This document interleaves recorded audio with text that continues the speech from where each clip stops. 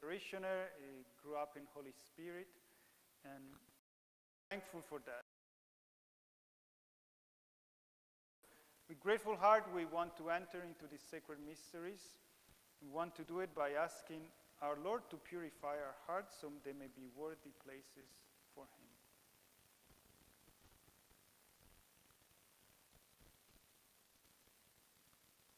You were sent to heal the contrite of heart.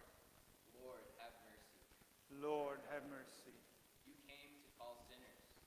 Christ, have mercy. Christ, have mercy. You are seated at the right hand of the Father to intercede for us. Lord, have mercy. Lord, have mercy. May Almighty God have mercy on us, forgive us our sins, and bring us to everlasting life. Glory to God in the highest, and on earth peace to people of good will. We praise you, we bless you, we adore you, we glorify you. We give you thanks for your great glory. Lord God, heavenly King, O God, Almighty Father, Lord Jesus Christ, only begotten Son, Lord God, Lamb of God, Son of the Father, you take away the sins of the world. Have mercy on us. You take away the sins of the world. Receive our prayer. You are seated at the right hand of the Father. Have mercy on us. For you alone are the Holy One. You alone are the Lord. You alone are the Most High, Jesus Christ, with the Holy Spirit, in the glory of God the Father. Amen. Let us pray.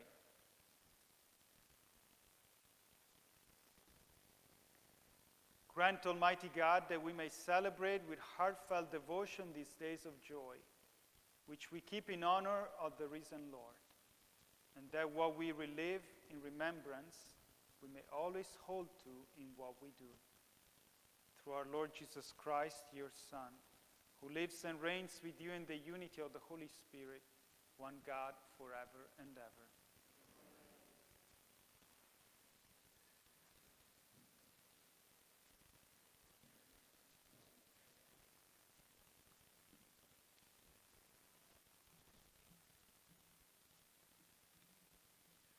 A reading from the Acts of the Apostles.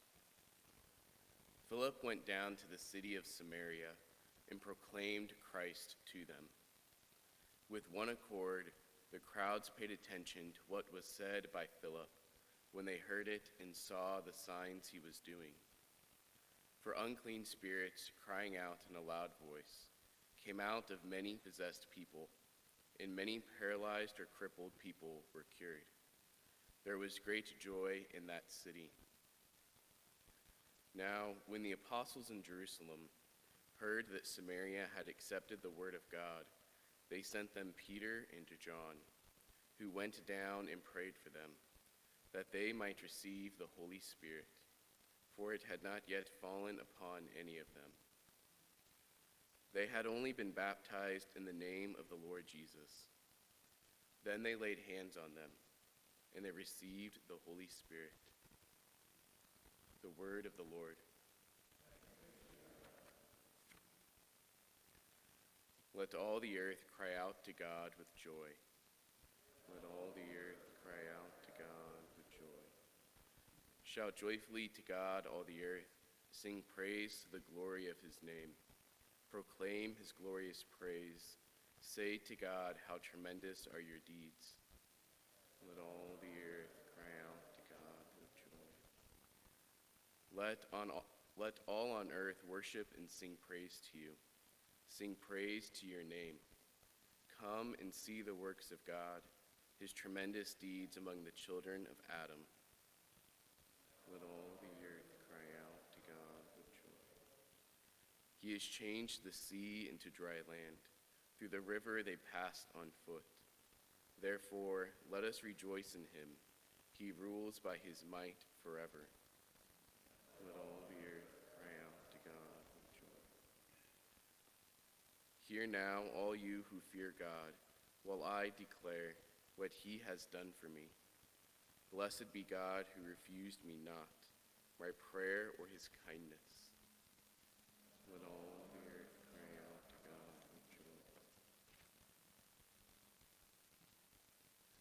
A reading from the first letter of St. Peter. Beloved, sanctify Christ as Lord in your hearts. Always be ready to give an explanation to anyone who asks you for a reason for your hope but do it with gentleness and reverence, keeping your conscience, your conscience clear, so that when you are maligned, those who defame your good conduct in Christ may themselves be put to shame. For it is better to suffer for doing good, if that be the will of God, than for doing evil. For Christ also suffered for sins once the righteous for the sake of the unrighteous, that he might lead you to God. Put to death in the flesh, he was brought to life in the Spirit. The word of the Lord.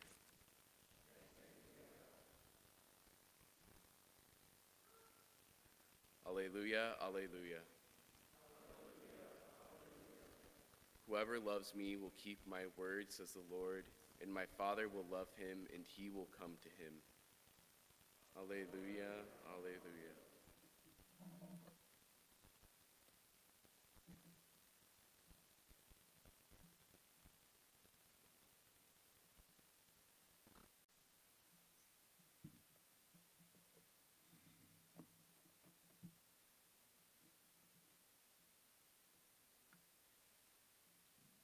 The Lord be with you. A reading from the Holy Gospel according to John.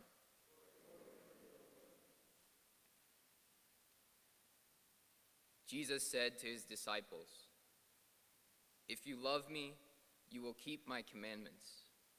And I will ask the Father, and he will give you another advocate to be with you always, the Spirit of truth, whom the world cannot accept, because it neither sees nor knows him. But you know him, because he remains with you and will be in you. I will not leave you orphans. I will come to you. In a little while, the world will no longer see me, but you will see me, because I live and you will live. On that day, you will realize that I am in my Father, and you are in me, and I in you.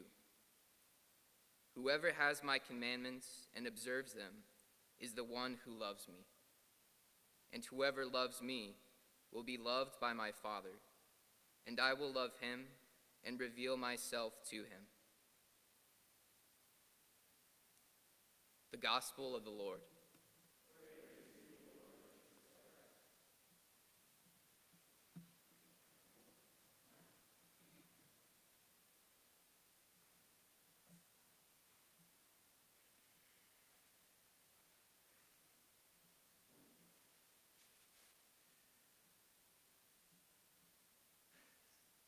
I am Thomas Maddock. Uh, I was ordained a transitional deacon yesterday at the cathedral, and it is good to be home with my parish family. Holy Spirit. I'm blessed to be joined by many of my family members and friends gathered here in person, and I welcome those joining through live stream, family, friends, brother seminarians. Thank you all for your friendship, love, and prayers for me throughout my journey of formation in the seminary, and it is good to be with you all. Many of you were gearing up for this day a year ago, and as many of you know, I decided not to go through with my ordination just days before. And many of you were probably surprised confused, maybe disappointed. But I have to admit, there was a lot of fear in my heart approaching. I was afraid I wasn't going to be good enough, afraid I would fail, afraid of the unknown and of the future. But I felt like the Lord was calling me to trust. And in many ways, I couldn't. And I think this is the struggle of our faith trusting in the goodness of God. That God will provide for us, that He is a loving Father, and that whatever He's calling us to, whatever He's asking us to, He will be with us. I think of Philip in the first reading today. He was also a newly ordained deacon uh, in the early church, and he was sent to a town of Samaria, which is just north of Jerusalem, to preach the gospel to them.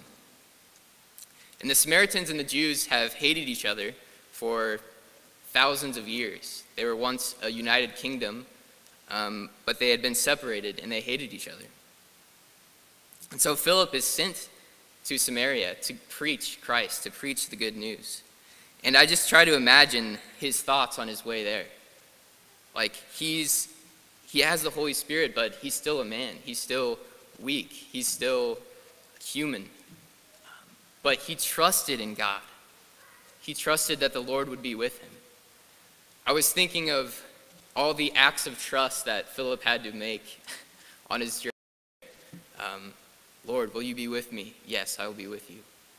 Just that constant relationship that he would have had to have with the Lord on his way there.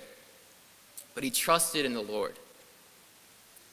And when he proclaimed Christ to them, the entire town was converted. And that's the power of the Holy Spirit. That the Holy Spirit would work through someone to convert an entire town. And it says in the gospel, there was great joy in that city. And I imagine Philip just being overwhelmed with how much the Lord loved him, how much the Lord was good to him, and made that amazing act of faith, um, converting that town through him. Trusting in the goodness of God. And I think this struggle not only applies to big things in life, like a vocation, but also to little things little things in our daily life, little things that God's asking us to do, um, to talk to a friend, uh, to, to reach out to someone who's lonely, whatever it may be. Maybe someone's discouraged and the Lord's like, go talk to them. Trust that the Lord will be with you and he will show up. I think oftentimes we can see living a faith life, a life in relationship with God, as a threat to our freedom because we kind of like our own life. We like our comforts, we like our plans, um, we like how our life is. But if we're being honest with ourselves, deep down, we desire that relationship. We desire living a life of friendship with God, someone who has a better plan for us than we can imagine for ourselves. And so look into yourselves and see where is the Lord? Where is He calling me to do? How, how is He asking me to have a relationship with Him?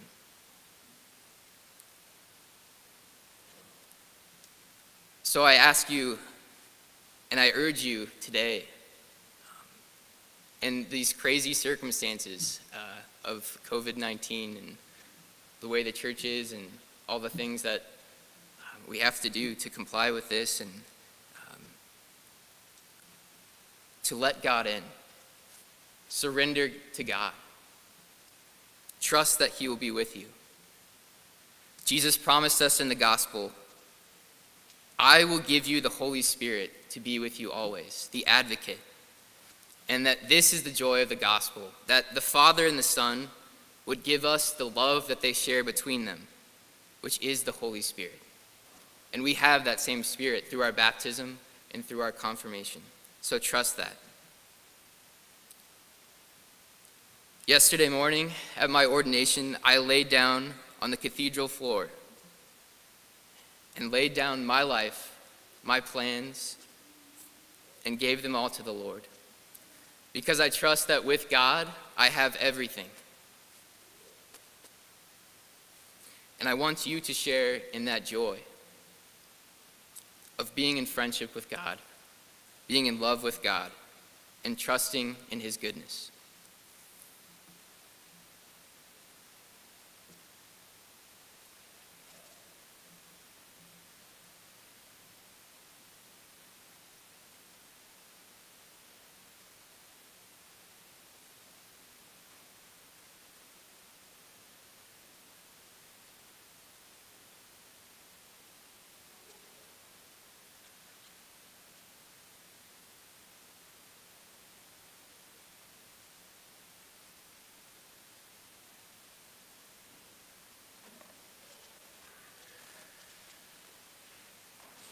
Let's now stand and together profess our faith.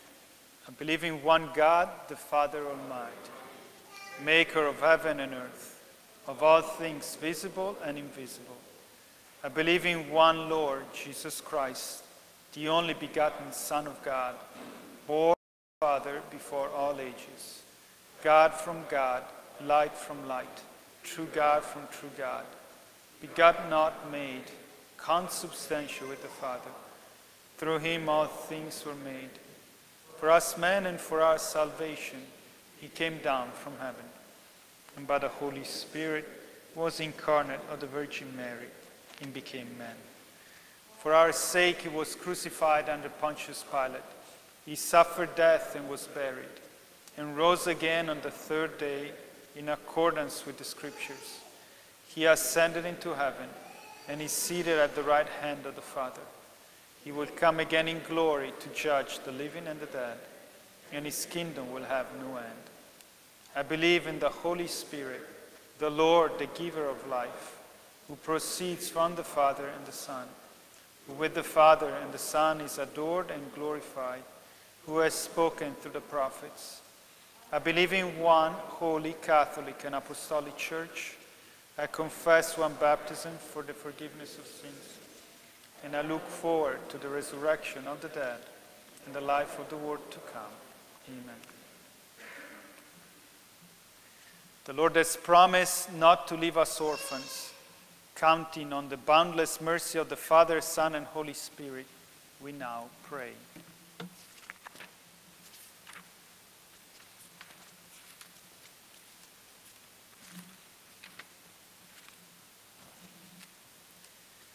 That the church will stand before the world without stain or blemish, holy and obedient to God's word. We pray to the Lord. Lord, hear our prayer. That divisions in the world will be healed, violence will cease, and the peace of God's kingdom will bless the earth. We pray to the Lord. Lord, hear our prayer. For scientists, health professionals, essential workers, public officials, and all who are serving the common good during this pandemic. May they be filled with courage, strength, and wisdom, and be blessed with good health. We pray to the Lord. Lord, hear our prayer. That God will strengthen and preserve our parish in his holy service. We pray to the Lord. Lord, hear our prayer. That those suffering from addictions may come to have liberation and peace we pray to the Lord. Lord, hear our prayer. For those who are suffering in the current outbreak of sickness, that they may be healed, and for the happy repose of all who have died from this sickness in recent months. We pray to the Lord. Lord, hear our prayer. For those who have died, especially Annabella Silva, mother of Liz Anderson, Stephen Lentz, brother of George Lentz, and for Dutton, and Catherine Bruner, for whom this Mass is being offered. May they find peace and eternal joy in the Lord. We pray to the Lord. Lord, For the grace this week to keep Christ as Lord in our hearts, ready to suffer for the sake of righteousness. We pray to the Lord. Lord, hear. Pray also for Deacon Thomas, that along with Deacon Luke Doyle and Luke and Deacon Keith Chadwick may receive and continue to minister in the abundance of the Holy Spirit, and His word may be anointed and may reach many hearts, and He may be transformed as He does so. We pray to the Lord. Lord. Heavenly Father, we know that you hear our prayers and attend to our needs. Increase in us the virtues of faith, hope, and love through Christ our Lord.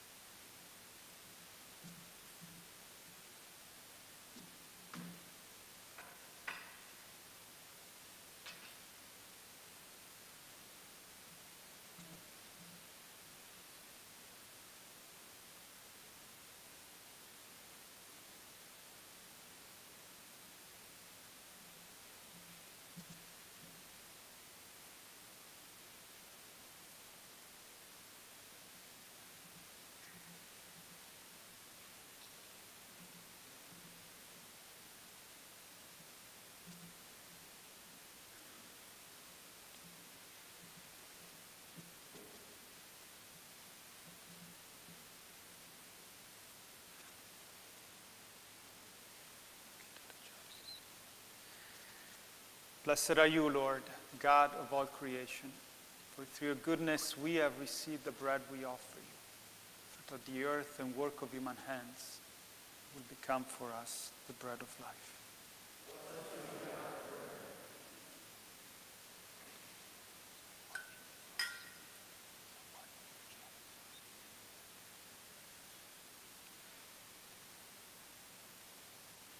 Blessed are you, Lord God of all creation, for through your goodness we have received the wine we offer you. Fruit of the vine and work of human hands, it will become our spiritual drink.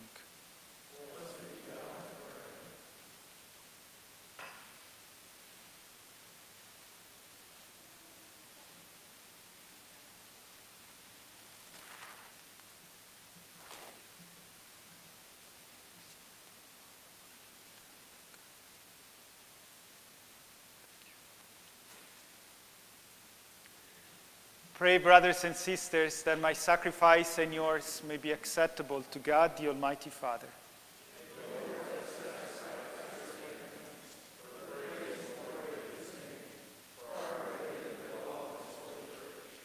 May our prayers rise up to you, O Lord, together with the sacrificial offerings, so that purified by your graciousness, we may be conformed to the mysteries of your mighty love. Through Christ our Lord. The Lord be with you. Lift up your hearts. Let us give thanks to the Lord our God. It is truly right and just, our duty and our salvation, at all times to acclaim you, Lord, but in this time above all to laud you yet more gloriously, when Christ our Passover has been sacrificed. He never ceases to offer himself for us but defends us and ever pleads our cause before you. He is the sacrificial victim who dies no more, the Lamb once slain who lives forever. Therefore, overcome with paschal joy, every land, every people exalts in your praise, and even the heavenly powers with the angelic hosts sing together the unending hymn of your glory as they acclaim. Holy, holy, holy Lord God of hosts. Heaven and earth are full of your glory. Hosanna in the highest. Blessed is he who comes in the name of the Lord. Hosanna in the highest.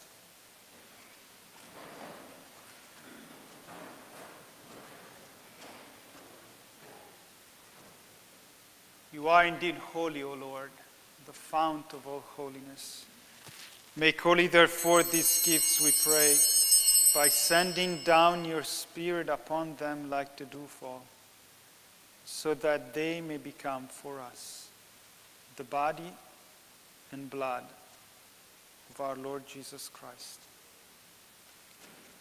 The time he was betrayed and entered willingly into his passion, he took bread and giving thanks broke it and gave it to his disciples, saying, Take this, all of you, and eat of it. For this is my body, which will be given up for you.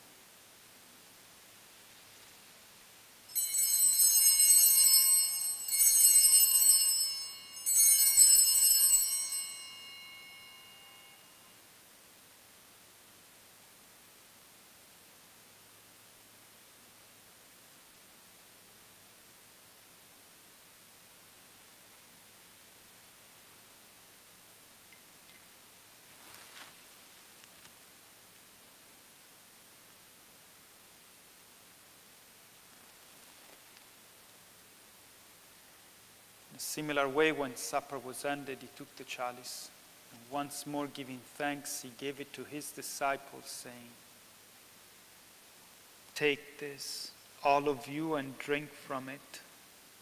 For this is the chalice of my blood, the blood of the new and eternal covenant, which will be poured out for you and for many for the forgiveness of sins.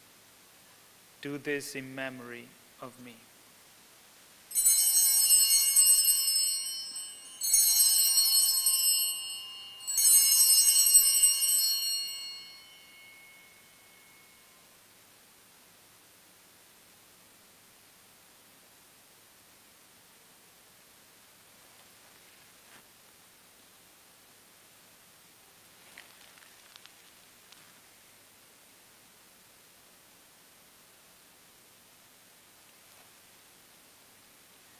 The mystery of faith. We proclaim your death, O Lord, and profess your resurrection until you come again. Therefore, as we celebrate the memorial of his death and resurrection, we offer you, Lord, the bread of life and the chalice of salvation, giving thanks that you have held us worthy to be in your presence and minister to you. Humbly, we pray that partaking of the body and blood of Christ, we may be gathered into one by the Holy Spirit. Remember, Lord, your church is spread throughout the world and bring her to the fullness of charity, together with Francis, our Pope, and Joseph, our Bishop, and all the clergy. Remember also our brothers and sisters who have fallen asleep in the hope of the resurrection and all who have died in your mercy, welcome them into the light of your face. Mercy on us all, we pray that with the Blessed Virgin Mary, Mother of God, with Blessed Joseph, her spouse, with the blessed, with the blessed apostles and all the saints who have pleased you throughout the ages, we may merit to be co-heirs to eternal life. We may praise and glorify you through your Son, Jesus Christ.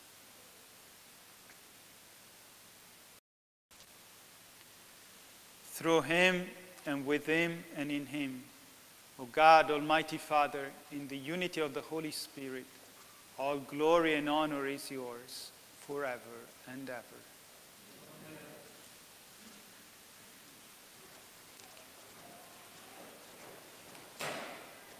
The Savior's command and formed by divine teaching, we dare to say, Our Father, who art in heaven, hallowed be thy name. Thy kingdom come, thy will be done, on earth as it is in heaven. Give us this day our daily bread, and forgive us our trespasses, as we forgive those who trespass against us.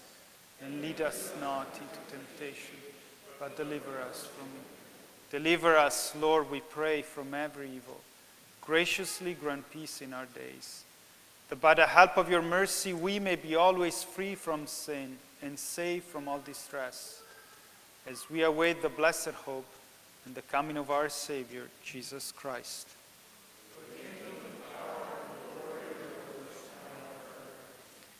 Jesus Christ, who said to your apostles, Peace I leave you, my peace I give you. Not on our sins, but on the faith of your church, and graciously grant her peace and unity in accordance with your will, who live and reign forever and ever. Amen. The peace of the Lord be with you always.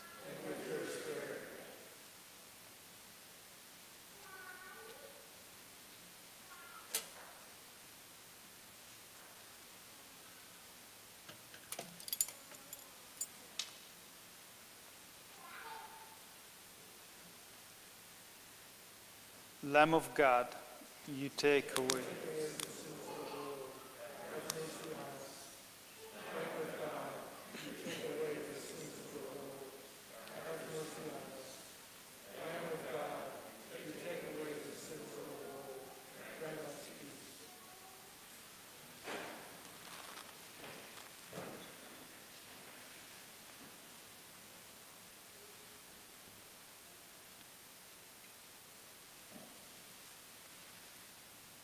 Behold the Lamb of God. Behold him who takes away the sins of the world. Blessed are those called to the supper of the Lamb. Lord, I am not worthy that you should enter under my roof, but only say the word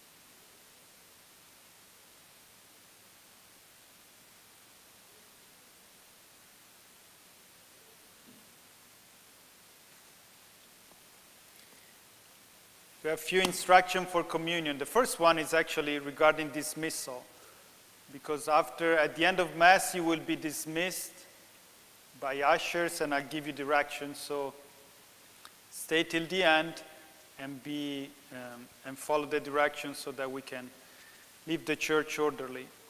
For what it, uh, concerns communion, we will have three communion lines: one in the one on each side, one on that side, and one on the other side. So A and B share the, main, the same aisle, C and D share the center aisle, and E and F will share this other aisle.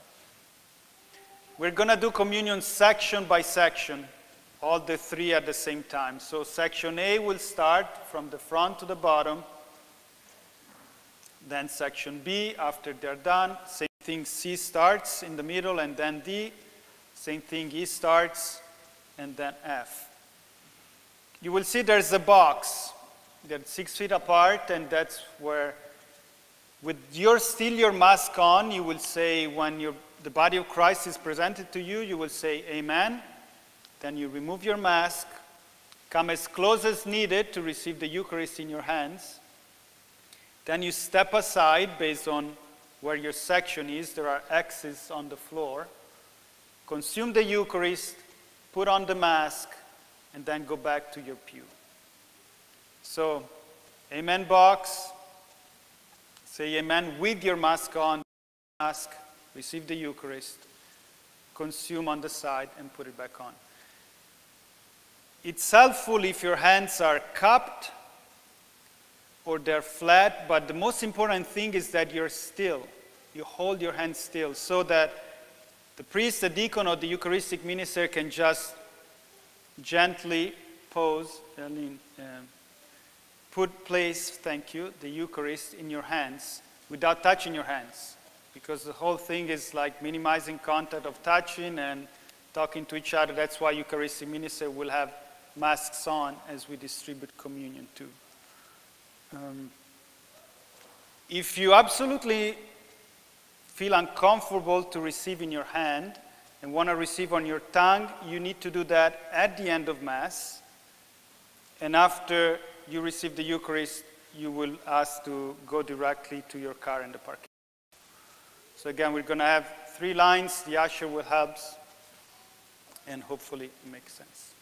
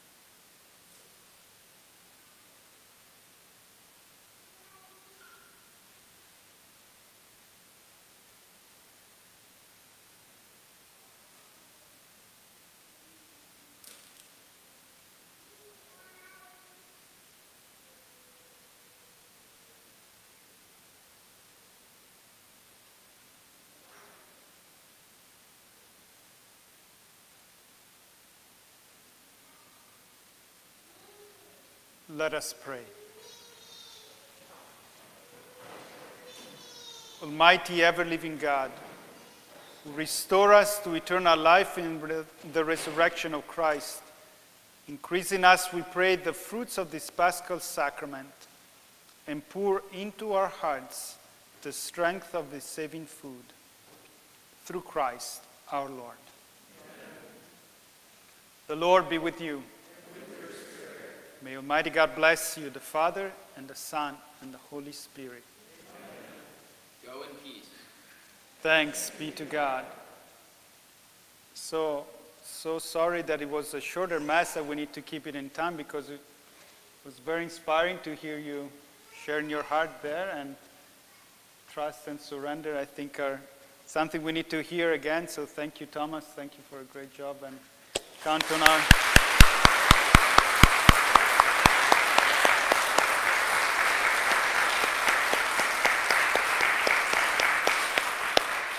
On our prayers will accompany, continue to accompany you throughout this diaconate year.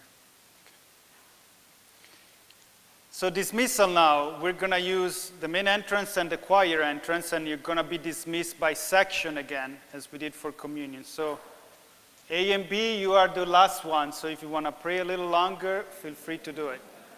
So section A, starting from the first row, you can go out to the exit, and please go to the parking lot, go to your car, and leave, and be mindful of the six feet distance if people don't live in your same house. Section C from the back row, you can start coming from the main aisle, you can start going out through the main door. So let the people who are in the last uh, pews go first, so then we avoid to do that. So section F from the first row, please. Section E, sorry, yes. You can go that direction. Thank you.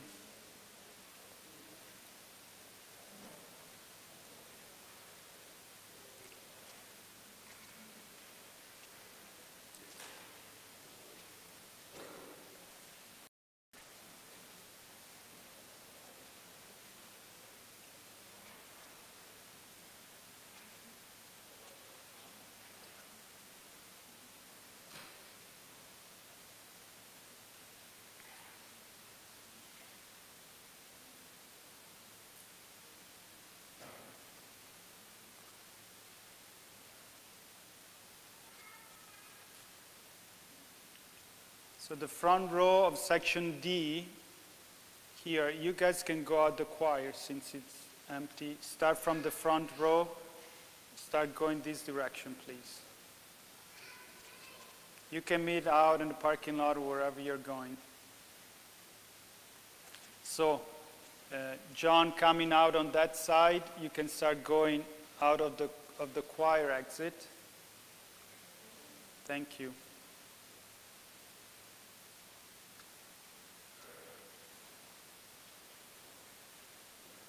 So section B, starting from the last rows, if you guys want to use the main entrance.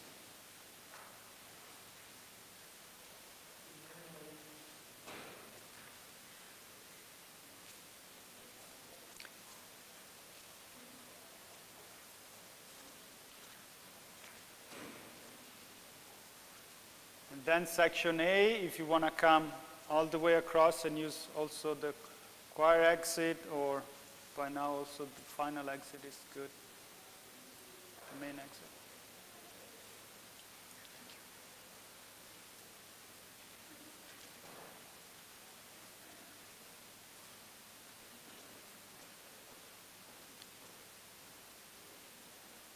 Denise, did you stop recording? You can stop recording.